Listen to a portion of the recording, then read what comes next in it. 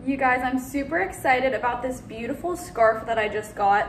Not only is the pattern so beautiful, it's that kind of like vintagey floral print. It's also so soft and comfortable, which I love.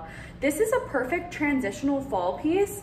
So you could wear it like a traditional scarf around with any outfit to kind of make it just a little more fun.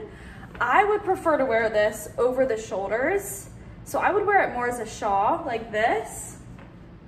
You could also bring it down and wear it more like this, which I think is super cute too. I also like the idea of if it's cold in the fall time, being able to use this like this as well to stay warm, but also still look cute. I think that there's so many possibilities with this scarf, which I absolutely love, but I do think that it would just dress up any simple outfit. So I just have this simple plain black dress on, and with this little scarf, I think it just makes it a lot more fun and interesting of an outfit. You could also tie it. I think that this would be cute to wear to a wedding as well over top of your dress. Super soft, super comfortable. It's really, really flattering and I think that it's just comfortable and I can see you dressing it up or dressing it down.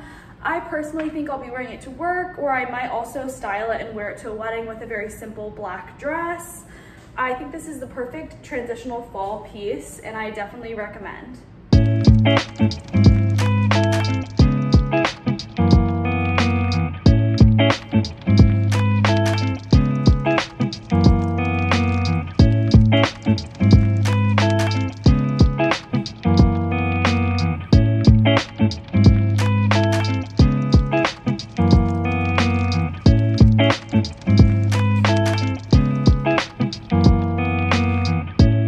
Thank